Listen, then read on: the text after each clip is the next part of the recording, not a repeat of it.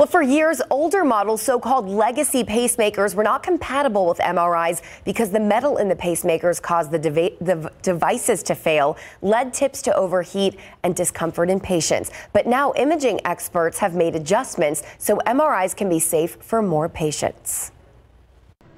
12 years ago, lifelong runner Mike Unkelbach was diagnosed with a heart blockage and got a pacemaker.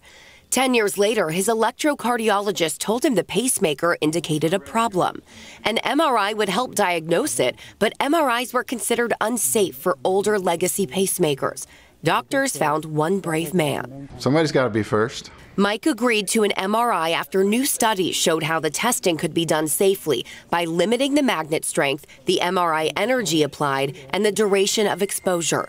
Turns out Mike's MRI showed an even more serious problem a thickening of the muscle wall of the left ventricle, a condition called atypical hypertrophic cardiomyopathy. We can see it's severely thickened.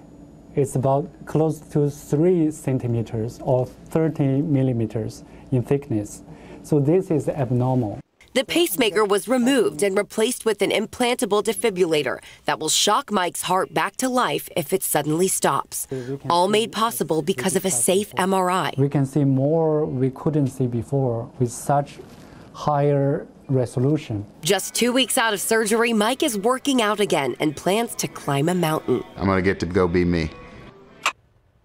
Dr. Wong says newer model pacemakers pose no known hazards in an MRI environment. Patients with older pacemakers should work closely with their doctors to determine if they need an MRI and how it can be done safely.